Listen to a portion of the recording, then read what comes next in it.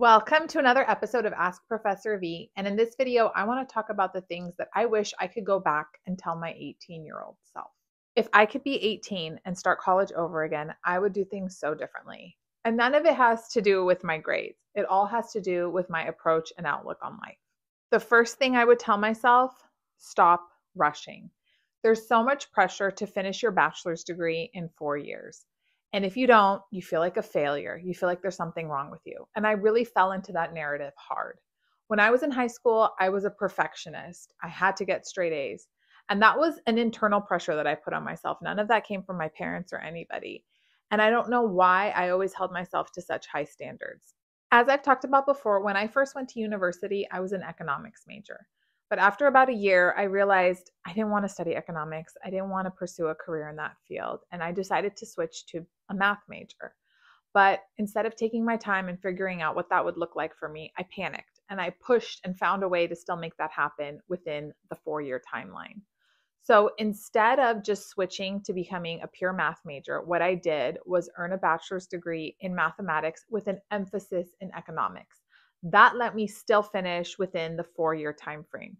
And I still got my bachelor's degree in econ within those four years. So I completed two bachelor's degrees in four years. But what ended up happening is when I went to graduate school, my master's degree program was only offered for pure mathematics. And since I had a heavy econ background, even as a math major, I took a lot of statistics courses, econometrics, finance courses that didn't prepare me as well for the pure math courses that I needed in my graduate studies. I so wish I went back and had taken that extra year in order to obtain and earn a bachelor's degree in pure math because it would have set me up so much better for success in my graduate studies.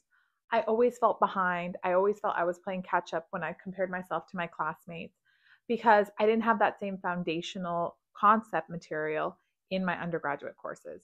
And for some reason, at the age of 19, taking one extra year to take some coursework that would serve me better in the long term just seemed like the ultimate failure. One year felt like such an eternity to me. So, looking back, one year is no big deal, especially when you're 30, 40, 50. If you can make a decision and it's going to set you up better for long term success, even if it delays you for a year or two, so what?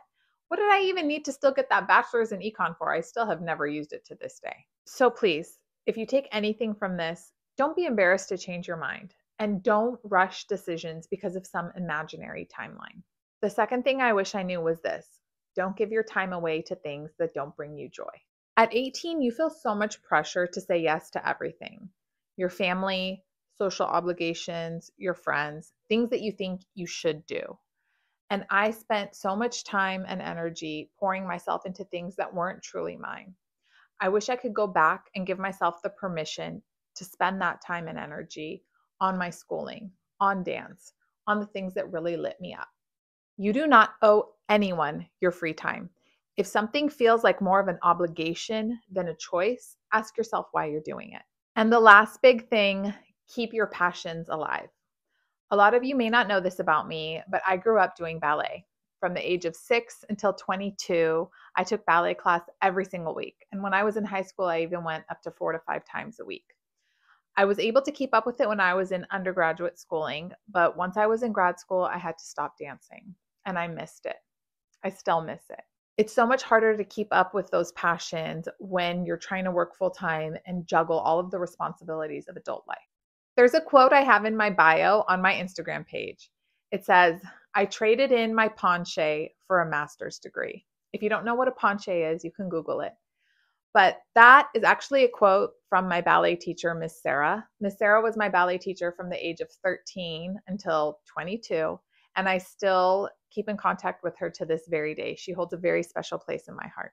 Like I said, I stopped dancing when I was in graduate school, a lot of the part because I felt so behind compared to my classmates. But after I graduated, after I had earned my master's degree, I came back and took a ballet class with her. And she gave us a combination where we had to do a penché. And back in the day, I had a pretty decent penché on the right side. But that day, after that hiatus from ballet, it was pretty much non existent, like this. And after we finished the combination, she made it a point to stop and say to the class, Look, she traded in her penché for a master's degree. And I had. That was the truth of what had happened. And I, I don't regret my degree, but I do regret the way I went about obtaining it. I wish that I had still kept a part of myself and what brought me joy alive during that whole process instead of drowning in my studies and making it such a difficult phase in my life. At 18, I wish somebody had told me, you don't need to rush. You don't need to have everything figured out. An extra year won't ruin you. Changing your mind won't ruin you. Letting go of things that aren't yours won't ruin you, but losing yourself might. So slow down, take time to explore, stay laser focused on the things that matter, but still make time for the things that make you you. Your future self will thank you.